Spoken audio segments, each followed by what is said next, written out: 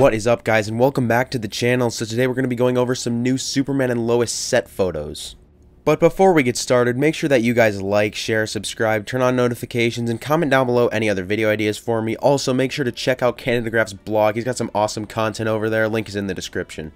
So yeah guys, I'm just going to read to you guys what Canadagraphs had to say about these photos. So he starts out by saying, in this scene, Tyler Hoechlin dressed in his Superman outfit, lands on a spot and walks down the alley before stopping and eventually leaning down towards the ground. Whether it's to look at or pick up something, or if there is supposed to be someone there in this scene, I don't know. During my time there, there did not seem to be another actor in the scene.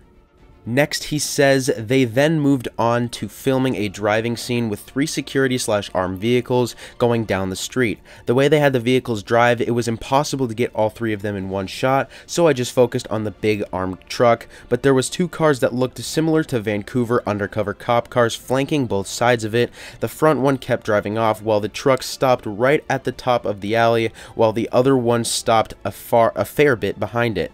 Then they drove off. Not sure who they are looking for, but it was clear they were searching for someone.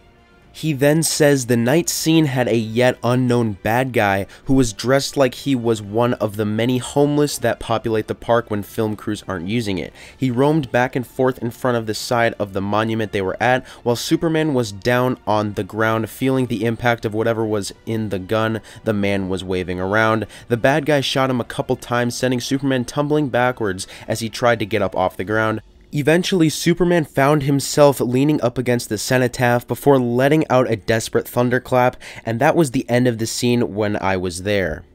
Okay, so this gun that was apparently shot at Superman, I don't know of any normal bullet that can impenetrate Superman, so I'm thinking there must have been kryptonite involved somehow. Um, just comment below what you guys think about that, but I definitely think that this villain that he's talking about must have kryptonite somehow. Or maybe it was just a gun that was able to just like knock Superman down like a laser gun or something along the lines of that.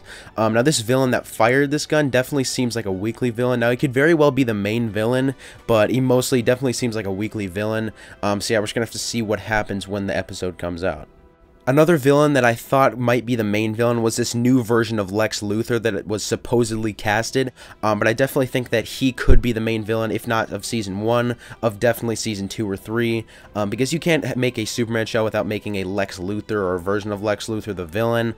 But yeah, I'd say that's about it, guys. Thanks for watching. Make sure to comment your thoughts on these photos down below, as well as Canadagraph's link is down there. Make sure you guys go check out his blog. Um, and yeah, I'll see you guys in the next video.